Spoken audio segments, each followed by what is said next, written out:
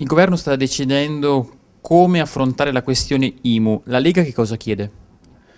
Ma innanzitutto vorremmo capire quali sono i tempi, perché qui eh, ci pare che eh, giorno dopo giorno slitti il eh, decreto eh, definitivo, perché eh, da quanto pare eh, l'IMU prima casa a giugno non si pagherà, serve il decreto per farla slittare e stamattina si diceva che anche qualcosa su altre realtà come gli immobili industriali o i terreni agricoli potrebbe eh, slittare. Però eh, slittare non vuol dire che non, eh, che non, si paga, magari poi il governo decide che a settembre si fa una rata unica e, per andare a raccogliere quello che, che, si sarebbe dovuto raccogliere a giugno.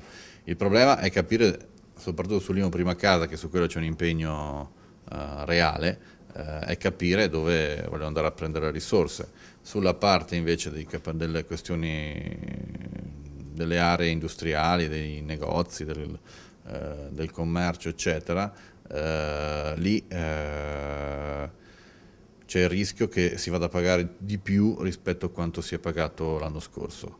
Eh, bisogna capire perché se questo fosse vero saremmo di fronte ad un, ad un aggravio pesante per i contribuenti. La Lega ha chiesto che le aziende agricole vengano dispensate da questo pagamento.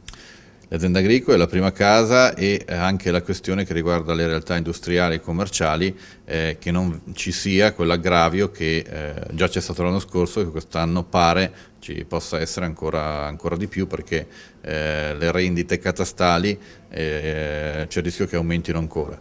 Eh, occorre capire perché qui le, le, realtà produttive non hanno queste risorse da, da dare così facilmente per il pagamento dell'IMU.